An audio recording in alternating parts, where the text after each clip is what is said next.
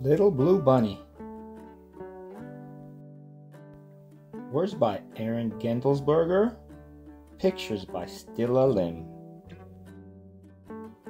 Even on that very first day, the little blue bunny knew something wonderful was about to happen. The bunny arrived at the house on a warm afternoon in spring, the boy's birthday. It was a day full of paper and ribbons, of cake and candles, of singing and laughter. And waiting inside a bright green box was the little blue bunny. Immediately, the boy loved the bunny with its long floppy ears, soft blue fur, and pink velvet nose. And immediately, the bunny loved the boy. When the boy had gone to bed that night, carried upstairs already asleep and placed beneath the covers, bunny was set on a shelf in his bedroom. Welcome, an orange rubber dinosaur said to the bunny. The other toys welcomed the bunny as well. A spiny soft hedgehog, a dump truck, a calico kitten, and more. Thank you, said Blue Bunny. I like this place very much, but I truly can't wait to go on adventures. There's so much I want to do. The boy will take you places, purred the calico kitten. Oh, but I'm not talking about doing little things, said Blue Bunny. I'm talking about great big things.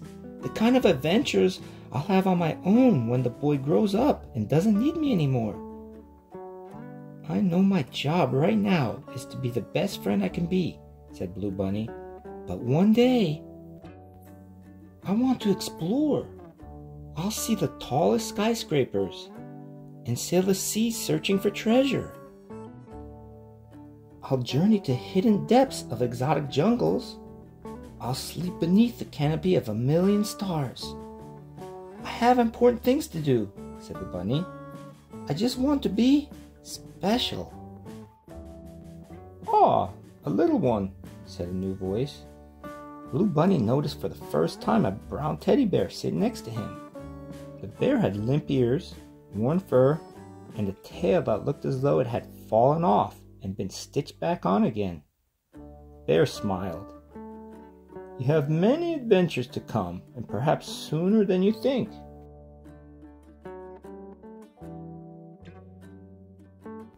I'm ready, said the little blue bunny. The next morning, the boy pulled Blue Bunny down from the shelf. He hugged the bunny close and rubbed the bunny's soft fur against his cheeks. They had lots of big plans. They built tall towers and interesting houses and colorful roads. Dump truck vroom vroomed around the landscape. Blue Bunny hop hopped down the road, exploring the city and meeting new people. At the end of the day, the bunny felt tired and happy, falling asleep in the boy's arms and wondering what exciting things they would find tomorrow.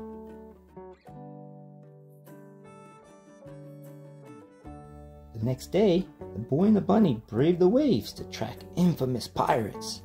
They watched the pirate captain's red winged companion flit and fly through the sky and perch high above them.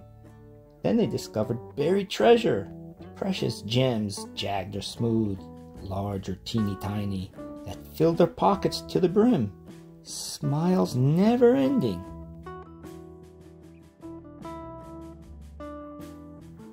After that, it seemed as though the boy and the bunny were never apart.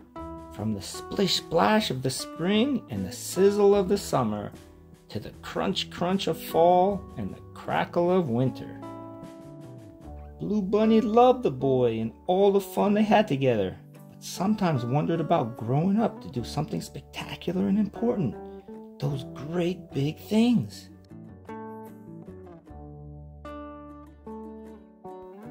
Even so, the bunny was always there when needed most. The Christmas that the boy got sick, Blue Bunny cuddled up with him, and the boy's parents came and went. When the boy was anxious about his first day of school, the bunny never left his side. When the boy's best friend moved away, Blue Bunny offered soft ears to dry the boy's tears. And when the boy was happy, oh, what joy! They danced and laughed, they imagined and created. Blue Bunny and the boy shared a magical world they built one day at a time. As the boy grew older, their adventures got bigger. They explored a conservatory and marveled at wild plants and curious reptiles from faraway lands. They went on sleepovers and had such great fun with so many friends. They played and joked and laughed until their sides ached.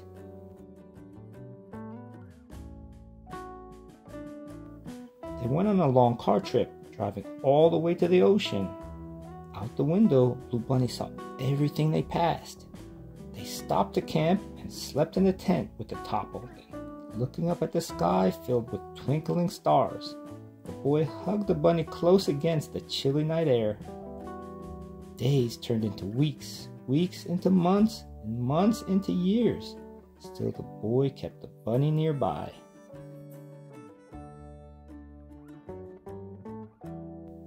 One morning, the boy woke up and held the bunny out at arm's length, staring at its worn fur, limp ears, and tattered tail.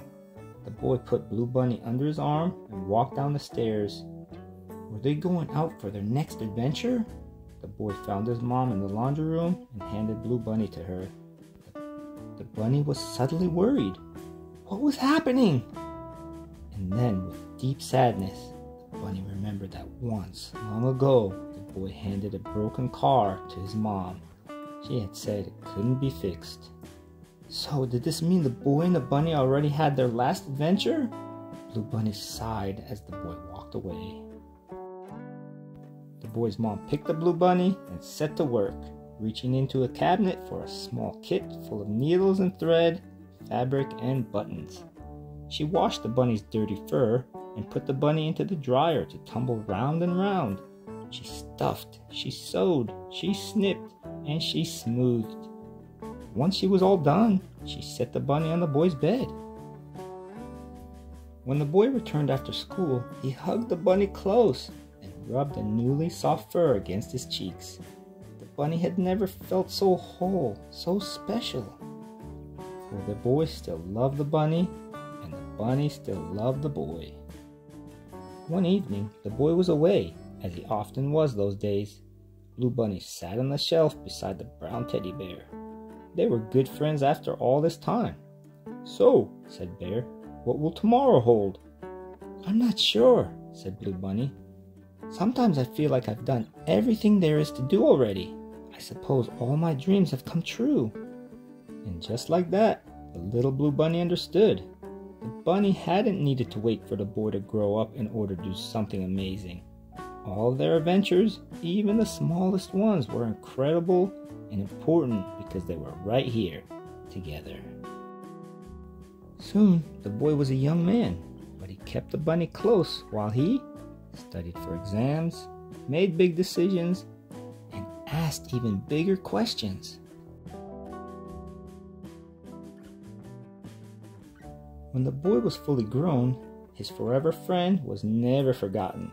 Blue Bunny still had a place in his home and his heart for every great big thing, always there to comfort, to listen, or simply to wait.